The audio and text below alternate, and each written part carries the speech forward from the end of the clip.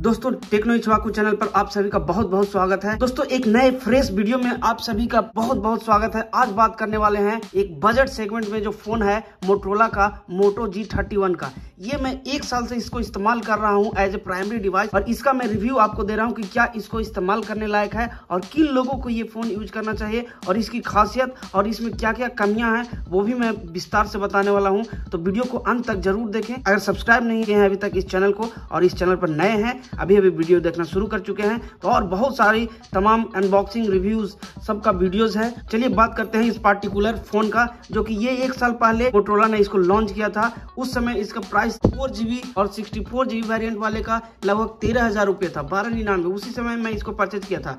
तो दोस्तों, ये दो वेरियंट में मिलता है, एक फोर जीबी और चौसठ जीबी में सिक्स जीबी और एक सौ अट्ठाईस जीबी वाले वेरियंट में आपको ये अवेलेबल है। तो ये जो मेरे पास फ़ोन है, वो फोर जीबी और सिक्सटी फोर जीबी वाले वेरियंट का है। इसी की बात करूँगा कि एक साल में इसकी परफॉर्मेंस कैसी है, कौन सी चीज़ें अच्छी है, कौन सी चीज़ें बुरी है। अभी आपको ये दस हज़ार नौ सौ निन्यानवे में अवेलेबल है। आपके पास अगर फ्लिपकार्ट एक्सिस बैंक का क्रेडिट कार्ड है तो आपको पाँच सौ पचास रूपए का कैशबैक मिल जाएगा। दोस्तों, इस मोटो जी थर्टी वन में लेनेवो का थिंग सील्ड प्रोटेक्शन दिया गया है, जो की काफ़ी मस्त चीज़ इसमें है। बस ये चीज़ जो है, आपके फ़ोन को काफ़ी सिक्योर कर देगा। तो अगर डिज़ाइन की बात करते हैं तो पीछे टेक्चर बैग दिया गया है, जो की प्लास्टिक का डिस्प्ले है। वो 6.4 इंच का फुल HD प्लस डिस्प्ले है एमोल डिस्प्ले है, जो कि बहुत ही शानदार है। डिस्प्ले के मामले में ये फ़ोन बिल्कुल चकित कर देगा आपको। ये जो बजट प्राइस में दस हज़ार के रेंज में शानदार डिस्प्ले आपको कोई नहीं देने वाला है। और दोस्तों, अगर बात करते हैं आगे तो आगे टॉप नोच है, जो कि आपका कैमरा इस तरह से है, पंच होल का है। पीछे बात करें कैमरा लेआउट के बारे में तो ये तीन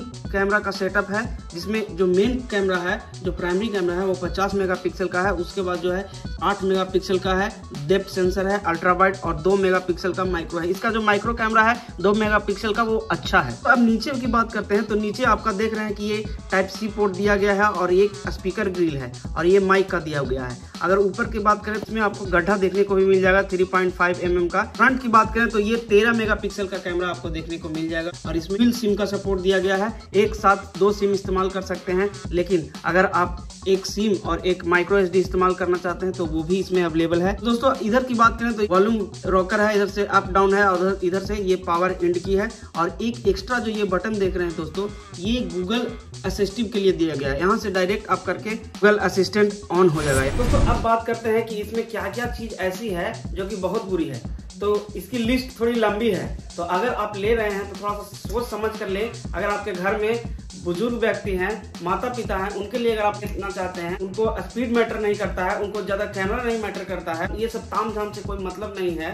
तो ये आप कंसीडर कर सकते हैं दस हज़ार के रेंज में ये बहुत ही बढ़िया है। लेकिन अगर आप एक फास्ट यूज़र हैं और आप कैमरा अच्छा देख रहे हैं तो आपको कुछ और फ़ोन देखना पड़ेगा, जो कि मैं बहुत सारे फ़ोन का रिव्यू किया हूँ। आपको आईफोन 13 का वीवो वी का one plus E twenty four monitor का भी आपको मिल जाएगा। यहाँ तक कि आपको लेटेस्ट मैक मिनी M2 का भी आपको इस चैनल पर ही रिव्यू देखने को मिल जाएगा। उसके लिए आप डिस्क्रिप्शन ज़रूर चेकआउट कीजिए, क्योंकि उसमें तमाम ऐसे वीडियोज़ हैं, जो कि आपके सारे जानकारी को ज़रूर पूर्ण कर देंगे तो आप ज़रूर उस चीज़ को चेकआउट कीजिए और वीडियो को देखिए। और वीडियो अच्छे लगे तो लाइक ज़रूर कीजिए। और चैनल पर नए हैं तो उसको सब्सक्राइब भी कर दीजिए, क्योंकि मैं इसी तरह के अच्छे अच्छे वीडियोस आपके लिए चुन चुन के लाते रहता हूँ। अगर स्क्रीन की बात करें तो व्यूइंग एंगल इसका बहुत अच्छा है। फुल एच डी डिस्प्ले है टच और हैप्टिक दोनों अच्छा है, इसका हैप्टिक फील और टच बहुत अच्छा लगा। फ़ोन की सबसे बड़ी प्लस पॉइंट मुझे इसका स्क्रीन ही लगता है। आगे वीडियो में मैं बताने वाला हूँ कि इसके कुछ निगेटिव पॉइंट्स क्या क्या वीडियो में बने रहे।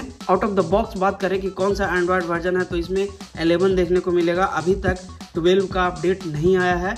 तो अपडेट के मामले में मोटरोला थोड़ा सा पीछे रह जाता है। ये स्टॉक एंड्रॉयड का फील देता है। इसमें कोई ब्लॉटवेयर नहीं देखने को मिलेगा। नीट एंड क्लीन आपको इसका एक्सपीरियंस देखने को मिलेगा। हालाँकि इसका जो यूआर एक्सपीरियंस है, इसमें थोड़ा सा और इम्प्रूवमेंट की ज़रूरत है, क्योंकि जब आप लगातार यूट्यूब पर वीडियो देखते रहिएगा या स्क्रॉलिंग कीजिएगा तो थोड़ा बहुत ज़रूर अटकने लगता है। दोस्तों, अगर इसमें प्रोसेसर की बात करें तो इसमें हीरो जी एट्टी का प्रोसेसर देखने को मिलेगा। परफॉर्मेंस वाइज ये अच्छा है। कभी कभी अटकता है, जैसा कि मैं अभी बताया। लेकिन जी जो है, इस प्राइस सेगमेंट में गेमिंग के लिए अच्छा माना जाता है। जब गेमिंग की बात आती है तो बैटरी की बात आती है तो बैटरी पाँच हज़ार की बैटरी दिया गया है, जो कि लंबी बैटरी है और बीस वाट चार्जर के साथ आपको बॉक्स में मिल जाएगा और इसका एक केस भी मिलेगा बॉक्स में आपको। तो ये अच्छी चीज़ है, बैटरी बैकअप इसका अच्छा है। दोस्तों साउंड की बात करते हैं डॉल्बी एटमोस का सपोर्ट देखने को मिलेगा। साउंड ठीक ठाक है, क्योंकि इसमें एक ही स्पीकर ग्रिल देखने को मिलता है। इसमें डुअल स्पीकर है नहीं, लेकिन हाँ इस प्राइस सेगमेंट में इसके जो वॉइस है वोकल्स है, वगैरह सब क्लियर्स होते हैं। कैमरे के सेक्शन की बात करते हैं तो इस फ़ोन का सबसे कमज़ोर कड़ी अगर कोई है तो इसका कैमरा ही है। बिल्कुल बाहियात और बेकार कैमरा दिया है।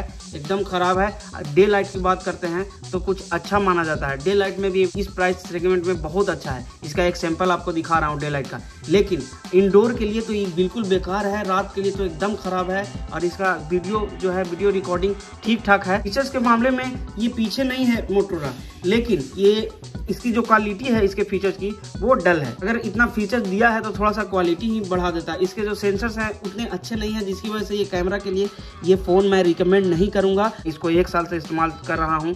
हैंग वगैरह तो नहीं हुआ है अभी तक। नॉर्मल यूजेज के लिए अच्छा है और घर में इसको आराम से बच्चे वगैरह हैं, ये वीडियो कॉलिंग या कुछ भी नॉर्मल टास्क के लिए आप कर सकते हैं, कोई दिक्कत नहीं है। अब दस हज़ार में आपको क्या ही मिल जाएगा। दोस्तों, ये था मेरा एक साल का रिव्यू ये मोटो जी थर्टी वन के बारे में। दोस्तों, निष्कर्षता अगर बात करें तो ये किसे लेना चाहिए? तो अगर आप ऐसे यूज़र हैं जिनको ज़्यादा स्पीड से मतलब नहीं है कैमरा से मतलब नहीं है तो इसको आप खरीद सकते हैं। लेकिन आज के डेट में मैं इसको रिकमेंड नहीं करूँगा। अगर कोई तीन, चार, पाँच हज़ार रुपया में आपको ये सेकंड हैंड में दे रहा है अच्छे कंडीशन में तो बिल्कुल ले लें, आपको दो तीन साल तक ये चल जाएगा।